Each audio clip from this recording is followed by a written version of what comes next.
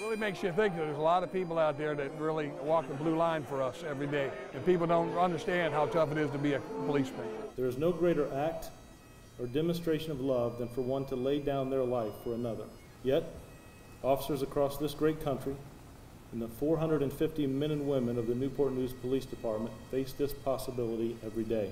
Today, we will honor 11 officers who gave the ultimate sacrifice in serving the citizens of Newport News. It's very important that they understand how much we appreciate them. This is another sign of respect for these officers to know that if does something does happen to them, they will be remembered. They won't be forgotten.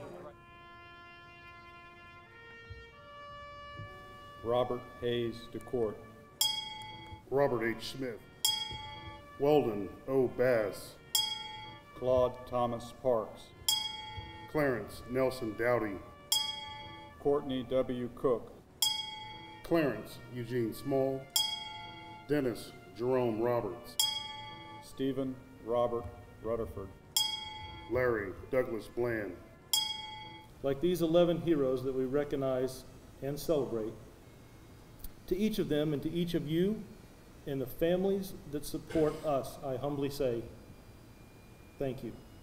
The job can reward you like no other. But one day, one day, it might demand from you everything in return.